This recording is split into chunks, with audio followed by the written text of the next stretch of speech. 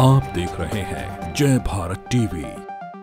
पाँच राज्यों में चुनाव, क्या है? चुनाव आयोग का नया फैसला, क्या है? चुनाव आयोग की नई गाइडलाइंस आइए आपको बताते हैं। आपको बता दें कि पाँच राज्यों में चुनावों को लेकर अब नई गाइडलाइंस जारी कर दी गई है, जिसमें कई जगह चुनाव प्रचार के लिए छूट भी दी गई है। आखिर क्या है नई गाइडलाइंस आइए आपको बताते हैं।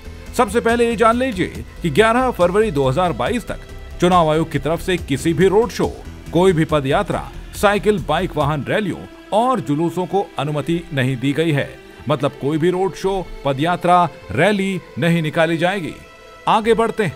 आइए आपको बताते हैं। डोर टू डोर कैंपेन के लिए चुनाव आयोग की नई गाइडलाइंस ये कहती है कि जहाँ पहले 10 लोगों की इजाज़त दी गई थी, वहीं अब डोर टू डोर कैंपेन में 20 लोग शामिल हो सकेंगे।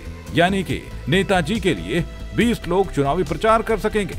वहीं इंडोर बैठक की अगर बात की जाए तो जहाँ पहले 300 लोगों की अनुमति दी गई थी, वहाँ अब 500 लोग इस इंडोर बैठक में शामिल हो सकते हैं। साथ ही राजनीतिक दल और चुनाव लड़ने वाले उम्मीदवार चुनाव से जुड़ी गतिविधियों के दौरान सभी मौकों पर कोविड नियमों का पालन करेंगे और आदर्श आचार संहिता का अनुपालन भी सुनिश्चित करेंगे। साथ ही इस नई गाइडलाइन में अगर चुनाव प्रचार किसी खुले स्थान पर किया जा रहा है तो वहाँ एक हज़ार लोग शामिल हो सकेंगे। उत्तराखंड की खासकर अगर बात करें तो उत्तराखंड में इस बार विधानसभा चुनाव बड़ी बड़ी रैलियों के बिना ही संपन्न होंगे। आपको बता दें कि कोविड संक्रमण की वजह से ही चुनाव आयोग ने 31 जनवरी तक जनसभाओं और रैलियों पर रोक लगाई थी। इससे पहले ये रोक 15 जनवरी तक लगाई गई थी, फिर इसे 22 जनवरी तक बढ़ाया गया और फिर आगे 31 जनवरी तक बढ़ा दिया गया।